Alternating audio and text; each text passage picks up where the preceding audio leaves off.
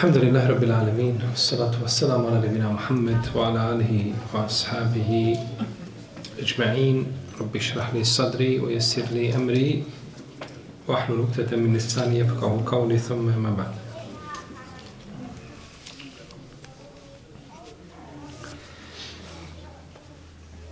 Svaki čovjek ima pri sebi određena svojstva koja su lijepa. A ima i onih drugih koja to nisu. Znači ima svojstva koja su ružna. Međutim, ta pogrda svojstva koja čovjek ima pri sebi, ona nisu sva na istoj deređi i nisu sva jednako opasna. Jedna su opasnija od drugih. Od ružnih i pogrdnih svojstava koja se ne bi smjela naći u srcu mu'mina i koja ispolje na njegove udove jeste svojstvo srđbe. Jer sržba je u stvari pokušaj šetana da tu žaravicu ljutnje iz njegovog srca vrati na njegove udove. Pa da znači pokaže, da pokaže tu svoju sržbu i da naudi sebi ili drugim ljudima. Uzvišen Allah kaže وَلَمَّا سَكَتَ عَمْ مُوسَ الْغَضَبِ أَخَذَ الْأَلْوَاحِ وفي نسختها هدى ورحمة للذين هم لربهم يرهبون A kada se smiri Musaova srđba, on uze ploče na kojima je bilo ispisano upustvo i pravi put i milost za one koji se gospodara svoga boje. Ovdje se kaže وَلَمَّا سَكَتَ مُوسَ الْغَضَبِ I kada se smirila Musa ova sržba, glagol sekete u arapskom znači šutati. Kad kažeš nekome uskut, latete kellem, to znači šuti, ne pričaj. Šuti, ne pričaj. Pa kaže ovdje kada je sržba ušutala, Može li sržba ušutiti? Ili se smiri sržba? Šta je ispravno kazati? Smiri. Ali u ajetu je došlo ušutala. Predstavljati ovdje ovaj ajet kao da je srđba živo biće koje je u tebi pa te podstiče da ti budeš agresivan, da budeš bestidan, da budeš, imaš unutra, znači jedno strano tijelo koje te postiče na to ružno ponašanje. A nije to samo puko ono nešto što se desilo u čovjekovom srcu i isplivalo na njegove udove. Znači, to je precizno kuranska riječ koja je došla ovdje, sekete ništa je nije moglo zamijeniti. Hoće se ukazati na opasnost srđbe kada se umirila, znači Musaova srđba. Ovdje iz spolješnje značenja ovoga ajeta ne razumijemo da se ploče polomile kada ih Musa bacio. Ali se to u stvarnosti desilo. Došlo je u hadisu kod imama Ahmeda od Ibn Abbasa da je poslanik sa rekao lejse la haberu kel muajene. Kaže, nije isto vidjeti i čuti. Musa a.s. kada je čuo da je njegov narod šta je počeo raditi, nije se naljutio onoliko koliko se je naljutio kada je vidio šta rade i onda je ploče šta bacio.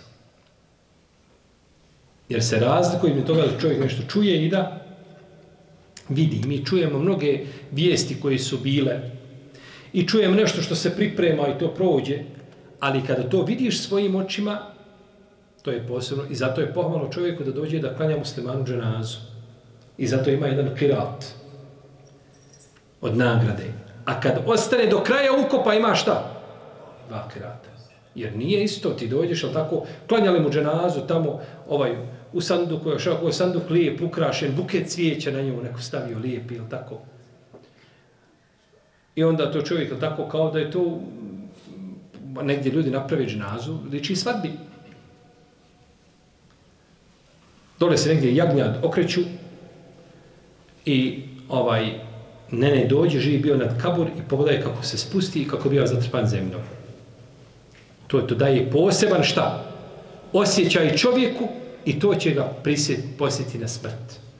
Hoće i dženaza da bi ispred tebe mejit, ali da ga nosiš ti i da ga spustiš u kabur, sigurno da je to ovaj po pitanju utjecaja na čovjekovo srce i njegov razum ovaj i njegova osjećanja puno, puno jače.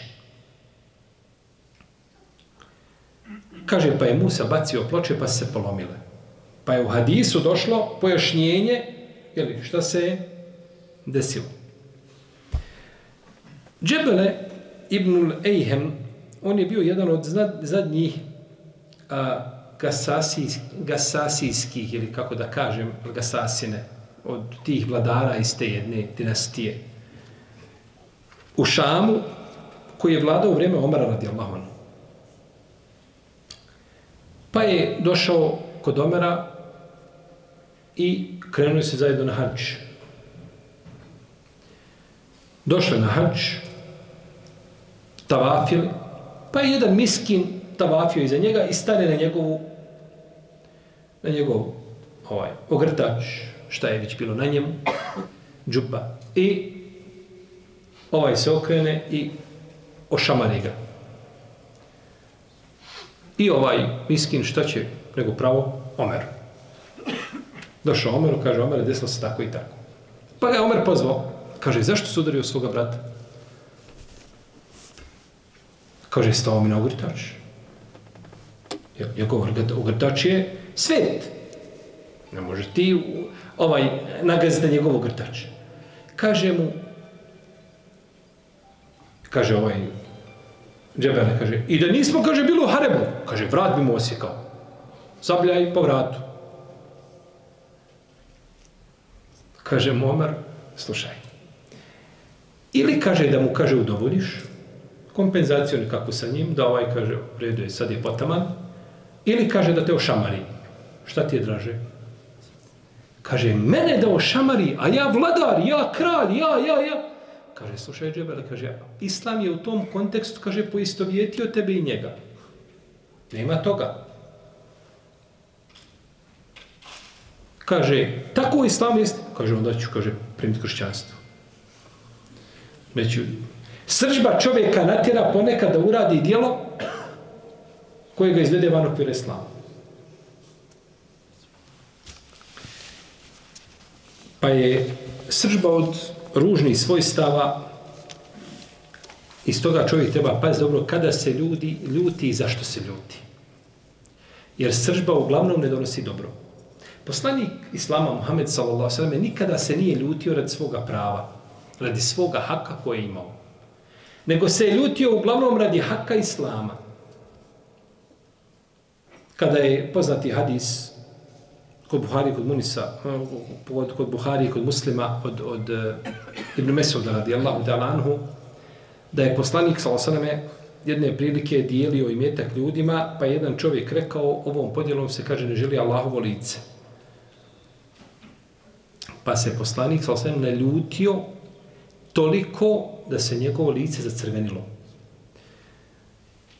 Pa je Ibn Mesud došao i rekao to poslaniku, sal sam. Kad mu je rekao, onda se naljutio. Kaže Ibn Mesud, volio bi da nisam ispomenuo nikako.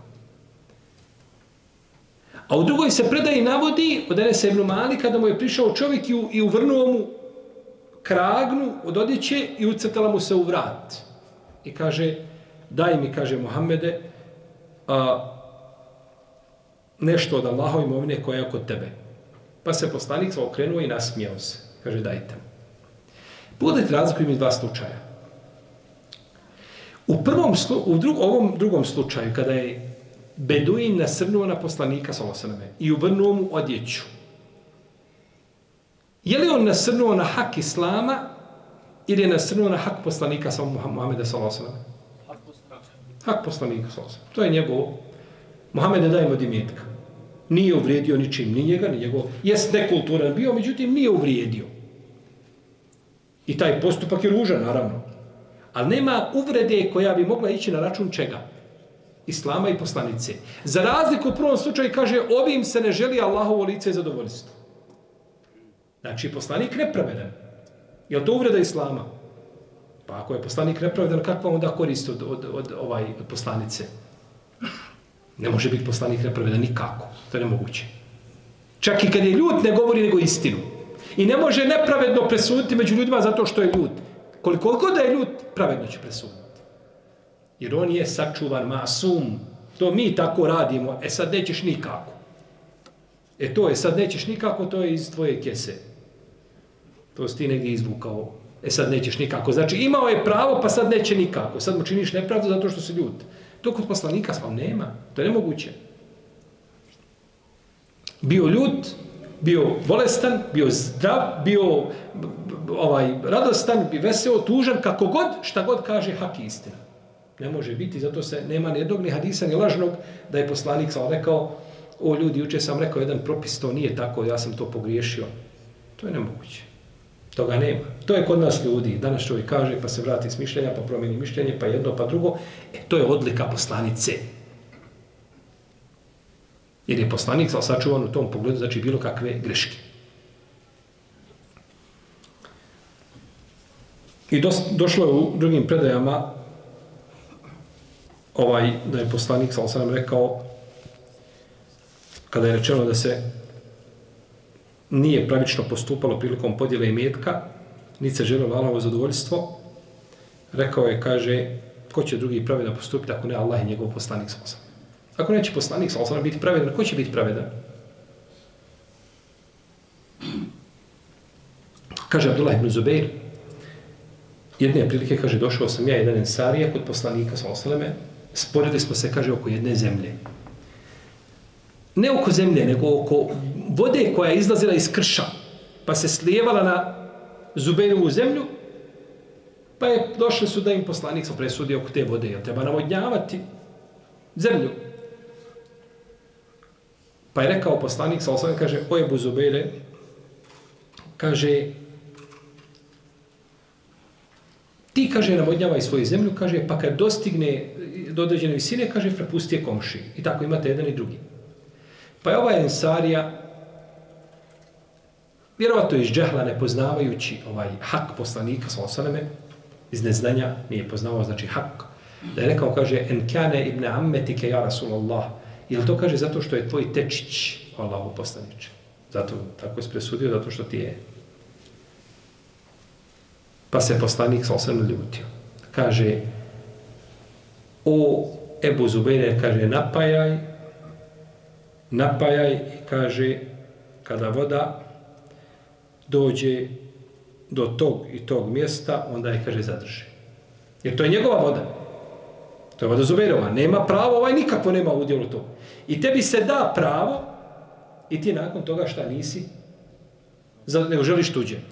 Pa kaže Ebu Zubeir, kaže e, uh, Zubeir ibn Awam, kaže, mislim da je ajet fela u rabbi ke la yu'minune hatta yuhakimu ke fi šeđer rebejnehum, kaže objavljen tom, tom prilikom i tim povodom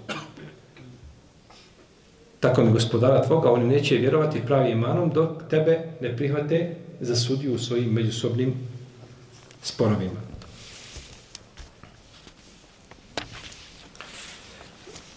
I zabilježio imam Ahmed i Tabarani sa ispravim lance prenosilaca od Umare ibn Huzeime radijalo Anesarija da je njegov Amidža njemu pričao da je a on je jedan od sahaba poslanika, sa osaname, da je Resulullah sa osaname jedne prilike bio na putu, pa je kupio od jednog pustinjaka, beduina, konja. Ko bilo kupio? Kaže, pa su išli i dogovorili da mu poslanik sa osaname u Medini preda protuvrijednost. Završena trgovina primo predaje, znači u Medini. Pa, pa je ostao malo poslanik, požurio sad da ide naprijed, na čelo kolone, a pustijak je ostao iza. Pa su prolazili ljudi i gledali onako, okreću se, gledaju konja, kažu lijep konj, jel da prodaju? Pa kaže, možda i jest. Koliko, pa koliko, pa pođe jedan po jedan koliko bi davali, pa se našlo među njima oni koji su dali više nego što je dao ko? Poslanik sa lozom. I malo su tako išli kad ovaj pustinjak povika, kaže, o Allahu poslaniče, kaže, ako hoćeš kupiti, kaže, konja na prodaju je, kaže, prije nego što ga drugi kupe. Kao sad on nudi poslaniku, sam sam, jeli, iznova, kao da ništa. Pa kaže, šta da kupi? Mi smo se, kaže, dogovorili, ja i ti, trgovina je dogovorena. Kaže, ništa dogovoreno nije među nama, ako hoćeš da kupuješ, tu je na prodaju je, pa bujno. Kaže mu, pa dogovorili smo se ja i ti. Kaže, daj svjedoka ako jesmo. Daj svjedoka. Pa je došao Huzeime ibn Thabit i posvjedočio, kaže Allah posljedče, ja, kaže, svjedočim da ste se vi, kaže, dogovorili u vezi s trgovinom. Kaže, kako svjedočiš, a ti nisi bio prisutan? Kaže, ja ti svjedočim da si kupio konja od ovog pustinjaka na osnovu moje svjedočbe tebi da si ti poslanik koji je od Allaha poslan. Ja ti vjerujem da ti dolazi objava i da si ti poslanik, a ne vjerujem ti po pitanju vama nekakve trgovine, pa je poslanik sam sve prihvatio njegovo svjedočenje kao svjedočenje dvojice ljudi. Kad trebaju četiri svjedoka, dovedu se dva i huzeime. To su četiri. Zbog njegove, znači, iskrenosti u svjedočenju radi Allahu Teala anhu. Čak se jednoj predaj koja je slaba navodi kod imama Nesaije stoji da je jedan pustinjak doveo dvije deve i rekao, kaže, o Muhammede, kaže, na tovar, na tovari mi ove deve, kaže, nije to i metak tvoj, niti tvoga babe. Pa je poslanik rekao da mu natovare na jednu, da natovare a, ječam, a na drugu datole, koliko može ponijeti tovarta.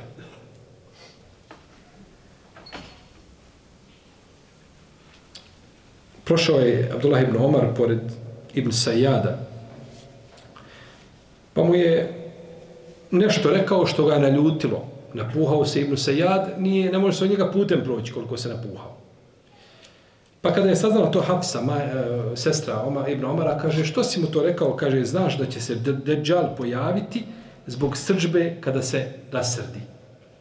Tada će izaći među ljude.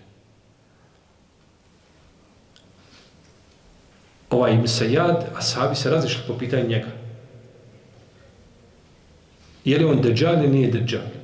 Ispravno je da je on Dejjal, on u Medini živio.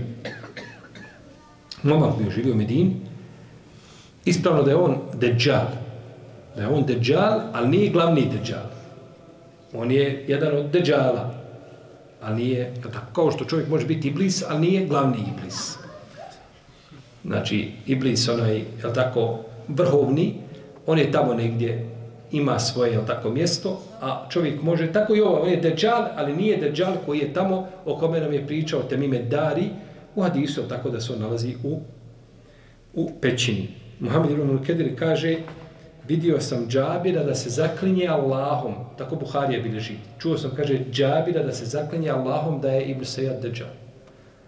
Pa su mu ga upitali, kaže, kako se Allahom zaklinješ da je on Dejjal? Kaže, vallahi sam, kaže, čuo Omera da se pred poslanikom sam se zaklinje da je on Dejjal, kaže, i poslanik, poslanik nije to osporio. Nije, nije ništa bilo poslaniku, sa šta, objavljeno u vezi s tim. Međutim, ispravno je da je Dejjal onaj što će se pojaviti, znači, kako je došlo, jeli, opisano. Jedan je sluga naljutio svoga vladara. Naljutio ga, pa je ovaj, sad on stoji ispred njega, ovaj ljutit, kaže o njemu, kaže, samo kaže da te podsjetim, kaže da ćeš biti ti sutra, kaže, a manji pred gospodarom od mene pred tobom. Kako sam ja pred tobom sad mali i ponižen, tako ćeš ti sutra biti pred gospodarom, ako mi navodiš, pa ga je pustio. A drugi je udarao svoga slugu, kaže mu udaraj, udaraj, ali kaže samo u mjeri u kojoj možeš izdržati, kaže kad se sutra bude vraćao. Pa mu je rekao, kaže, idi. Pa ga je pustio. I zato uzvišen je Allah za želu podstiče na suzbijanje srđbe. Pa kaže, vol kazimine al gajv, vol afine anin nas, Allahu yuhibbul muhsinin. Oni koji svoju srđbu suzbijaju i koji ljudima opraštaju, Allah voli dobročinitelje. I u tom smislu ima, ima dosta hadisa. I razlika između srđbe i ljutnje. Gajza i gadaba. Gajza je nešto što je u srcu. A gadab je nešto što je iziđeno u udove čovjeka. Kad on mlati rukama, isteriše, galami, vrišti, to je već gadab. A gajz je ta srđba koja je unutra i koja ključa, ali on je šta? Suzbijen dozvoljava da Jer sama ta ljutnja unutar prsa, to je, to je tako. Ne može čovjek od toga pobjeći. Međutim, ovaj, da to ispliva na čovjekove udove, to zna znači biti problematično. Došlo u hadisu Ibn Omara, koji ima dobar lanac prenosilaca, da je poslanik, sa osvrame, rekao men kefe kada behu setar Allah aurate. Ko suzbije svoju sržbu, Allah će prikriti njegove mahane. A kaže, ko prikrije svoju ljutnju, nije suzbije, a može je sprovesti, može nekome nauditi zbog toga, kaže, Allah će mu napuniti njegovo srce zadovoljstvo na sudnjem danu. A znate ko je zadovoljeno na sudnjem danu? Allah će mu napuniti njegovo srce zadovoljstvo na sudnjem danu. I došlo u hadisu kod Ibn Mađe, kod imama Ahmed od Ibn Omara, da je poslanik, sam sam rekao, hadis je vredostojen, kaže, nema teže gutljaja koga čovjek može progutati, a da za njega ima veću nagradu, od gutljaja srđbe koga proguta, ili zalogaja srđbe koga proguta, želeći Allahovu nagradu. Želeći Allahovu nagradu za to što je strpio se. I došlo u hadisu da će čovjek dobiti za, ako se strpi sržbu, jel tako suzbije svoju sržbu, da će na sudnjem danu imati priliku da se izabere od huriki šta želi i koliko želi. On bira lično. Molim?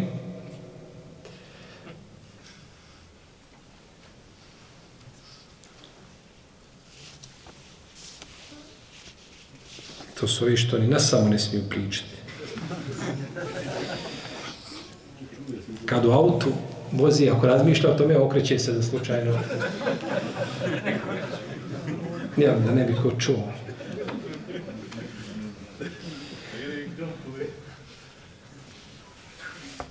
Imam al-Bezar je zabilježio od, sa dobrim lancem prostavca od Ibnu Hadžara da je Enes Ibn Malik rekao, prošao je poslanik, ali pored skupine ljudi koji su bili graja, ne, tako, glasovi nekakvi, galama, šta je?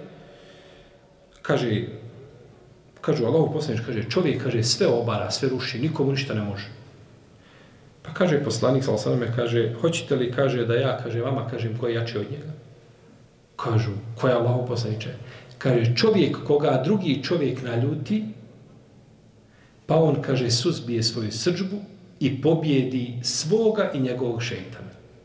E, taj jači. Ovaj može vamo biti, ovaj, ruš, on sve on radi tamo, obara. Kaže mu samo jednu ružu riječ, vidjet ćeš ga, ko Ibn Sajad. Napuše se, ne može izaći kroz vrat. Ne, nije to je snaga. Snaga je u tome da ti suzbiješ šta? Srđbu. To je snaga. To je snaga.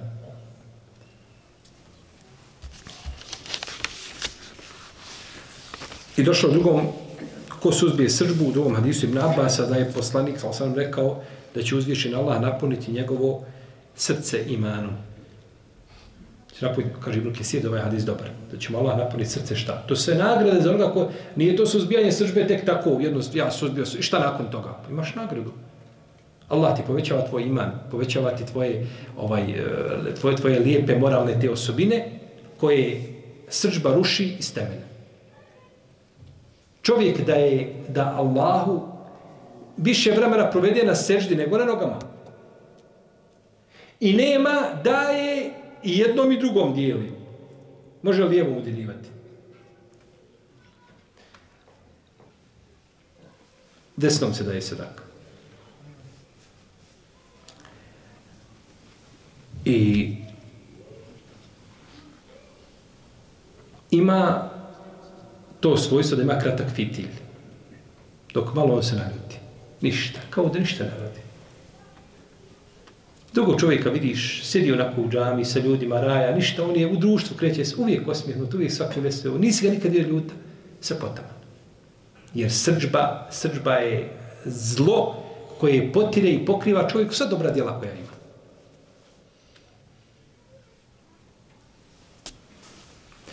I zato je poslanik poručivao ljudima kada su taž oporu, kaže ne ljuti se, ne ljuti se i to bi ponavljao nekoliko puta.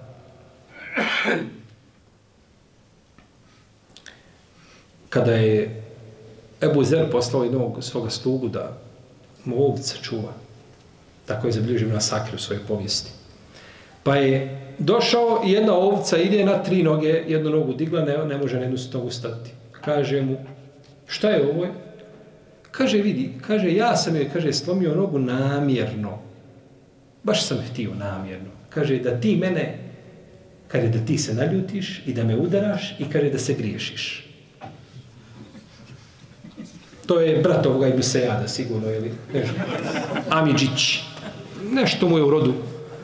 Kaže, ovaj, hoću da, da se griješiš. Kaže, Ibn, kaže Ebu Zer, ne možeš ti se Ebu Zerom, Ebu Zer je lav Islama. Kaže Ebu Zer, vidi, kaže. Ja ću, kaže, ovaj, pobijediti toga, kaže, koji te naputio na mene. Mislim na šeitana. Idi, kaže, slobodan si. Pa ga oslobodio. Idi, slobodan si. I došlo u hadisu Ibn Abasa, kod imama Ahmeda, da je poslanik, sam rekao, poučavajte ljude i obradujte ljude, nemojte im otežavati, a kada se kaže neko od vas naljuti, neka sjedne. Neka šuti, oprostite. Neka šuti. Kad se neko naljuti, neka šuti. Znači, lijek za ljutnju je šutne, nemoj pričati. Jer šta god da kažeš, jezik je ispred razuma.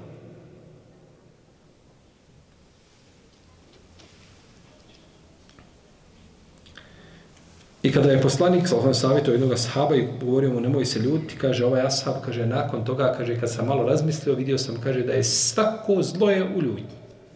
Nema zla da nije u ljutnji. Kaže šehr sami ibn Kajim rahimahullahu ta'ala, kaže ljudi će ulaziti u džahennem sa troje vrata. Prvo su vrata, kaže, šubuhata. Sumnji koja dovode čovjeka, tako navode ga na sumnjičenje u njegovoj vjeri, pa za zbog toga završi u džahennem. Druga su, kaže, vrata šehveta. Prohtjeva da čovjek daje prednost svojoj duši nad Allahovim naredbama i zabranama. I treća su, kaže, vrata srđbe, vrata srđbe, zbog ružnog opođenja čovjeka prema Allahovim stvorenjima. Jer ljutio se čovjek na sebe samo, pa isteriše, Nikada, nego na druge se ljuti i onda galami, onda je tako, pa kvari odnose i kaže Ibnul Kajim, sta troje vrata će ljudi ulaziti, ulaziti u džehennem. Pa ponosna sržba rezultira poniznim izvinjavanjem. Pa se čovjek poneg iz ponosa svog, on se mora rasrti, on mora pokazati, ili tako? I onda nakon toga dođe i kaže halal. Pa se ponizno, šta? Izvinjava, pa je tako dva puta pogriješio. Kada je onaj se čovjek razlutio u pristup poslanika, sallallahu kaže mu Allahu poslanik, sallallahu kaže ashabima, kaže, ja znam riječ koje kada je rekao, otišlo bi od njega ono što ga je snašlo. Evo, za billahi mine šeitani rođi. Pa jedan od ashaba koji je to čuo, odmah požurio njemu i kaže, jesi li čuo šta je poslanik sa osam rekao? Pa mu je spomenuo. Ovaj ga pogleda, kaže, misliš da sam ja lud? Pogledajte fika poslanika sa osam i fika ovoga sahaba. Je li poslanik sa osam otišao i njemu rekao, reci, ovo zubiram šta ne živim? Ništa. On samo kaže, konstatacija, ja znam. Da kaže to, bilo bi tako, nije ga obavijestio o tome. Jer u ovoga je gotovo, njegov razum je blokiran Čovjek se naljutio histeriše, moj kaz, boj se Allah. Osim zaista da znaš da je čovjek bogobojazan, da će ga te riječ smiriti, to je drugo. Ali uglavnom čovjeka to ne smiruje. I kaže, ja ga sa, ovaj vrišti, ovaj njega savjetuje.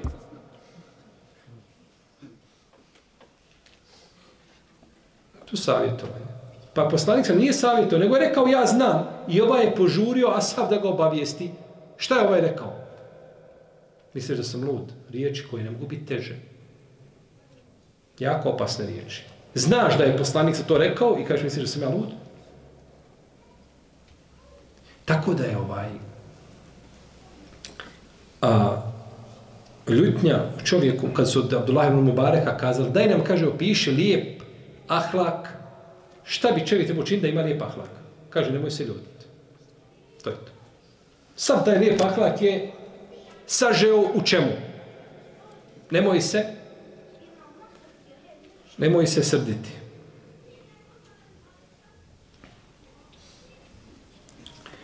I takvi su bili, Ibn Abbas je čovjek napao, on svašta nagovorio mu se svega i svačega i tako dalje, pa on okrene se Ikrim i kaže Ikrime, možemo mi kaže kako pomoći ovome čovjeku. Pa se ovaj zacrvenio, okrenuo se otišao. Radi Allahu Teala, anhu.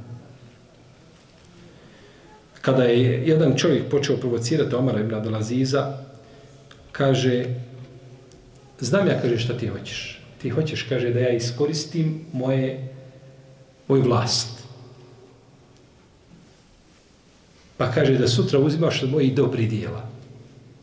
Neće ti, kaže, dati ja taj luksuz. Ustani, kaže, Allah ti oprostio. Kupi se, da ne vidim. Nećeš dobiti to što si naumio.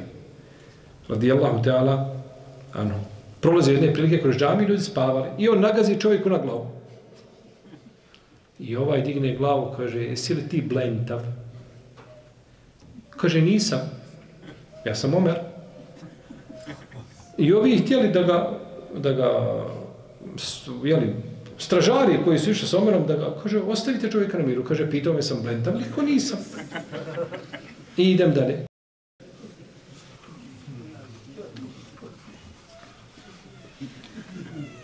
Kaže Bekar ibn Muhammed, tako bi imam Ibrahim u svome delu Raudatu Lukana. Kaže da bi Ibn Aun kada bi naljutio se na čovjeka, znate šta bi mu rekao? Barek Allahu fik. Kad je ljut, kaže ti šta? Barek Allahu fik. Šta misliš kad je zadovoljan? E, to je bio sebe. Barek Allahu fik. Naljuti se i kaže ti, ovaj, bare, ima on devu. On imao devu na koju je, koju je volio, jako volio tu devu, jahao je i dao je svome slugi da, da sa njom na, ovaj, navodnjava pa je navodnjavao tamo ove palme ili već vrtove šta je radio, pa je udarao je po licu dok nije krv počela teći. Pa kad je on to vidio, kaže, pa dobro, kaže, može li mimo lica? Može li, kaže, mimo lica, barek Allah fik, kaže, idi, kaže, slobodan si. Pa ga oslobodio. Pa ga je oslobodio. Rahimahullahu ta'ala. Kada je u pitanju sržba, ljudi se dijele u četiri vrste. Četiri vrste imaju ljudi. Ima prvo ljudi koji se teško naljute, a lahko se odljute. Teško se naljuti, a lahko se odljuti. To je prva i najbolja vrsta. Imamo drugu vrstu, oni koji se brzo naljute i brzo se odljute. Oni imaju jednu ružnu, jednu dobru osobinu. Brza je da, ovaj, loša je šta, da se brzo naljute, a dobra je da se brzo odljute. Pa to je jedan za jedan. Pozitivna nula. Može proći. Imate čovjeka koji se teško naljuti i teško odljuti. To je treća skupina. I oni su, on je mlađi brat ove druge skupine. On se teško naljuti, ali se šta? teško odljuti, ima jednu lošu, jednu dobru osobinu. Loša što se teško odljuti, a dobra što se teško naljuti. I imate četvrtu vrstu, a to je vrsta ili ljudi koji se lahko naljute, a teško se odljute. I to je otprilike vrsta koja predstavlja džehennem na dunjavuku. Znači, s takvom vrstom ljudi živjeti pod jednim krovom, to je džehennem na dunjalu. Znači, za sve se on naljuti. Kažeš mu merhaba, on se naljuti. Pogledaš ga, on, on iz tog tvog pogleda ima hiljadu tumačenja. A ne zna se koje je gore od tih hiljadu. Nijedno nije dobro. Ne, znači, ne možeš ni kazati, ni uraditi se, ni okrenuti, ni izići, ni ući, a da on neće, šta? To protumačiti. Na ružan način. I onda kad ga naljutiš, igraćeš ti oko njega mjesecima da ga odljutiš. Ali problem u tim igranjima se opet on deset puta još naljuti. I nikada sa njim na kraj izaći.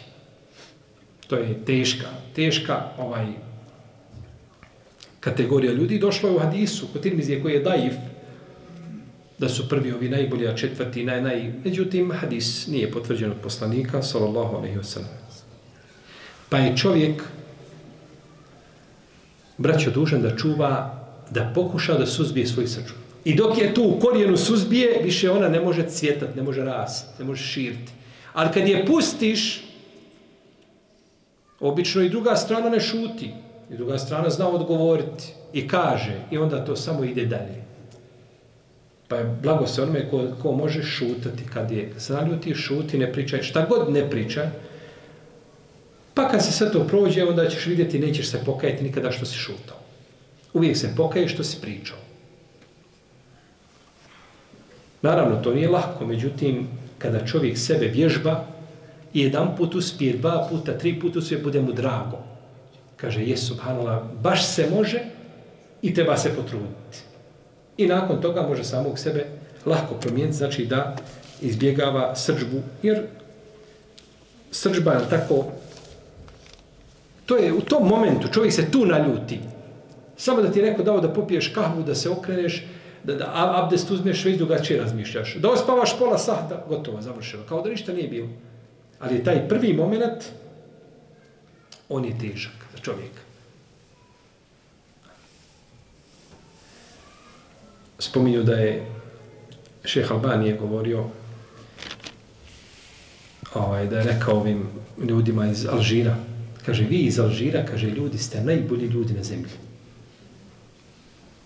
Kaže, nema poput vas.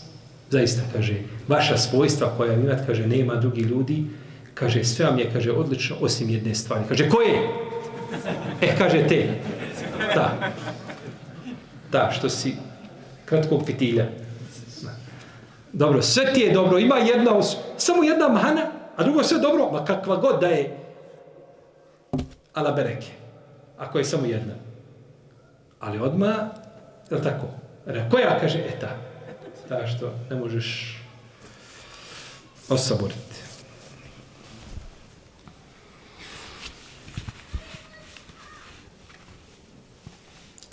A ovu tegobu suzbijanje sržbe zna čovjek kako je to zaista teško i da je to e, ovaj veća snaga nego hrva, hrvati se s ljudima i obarati na patos onaj ko se naljuti.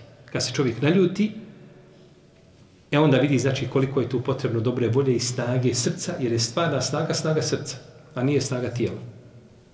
A da bi suzbio sržbu ne treba snaga tijela, nego treba snaga čega? Srca. Treba snaga srca.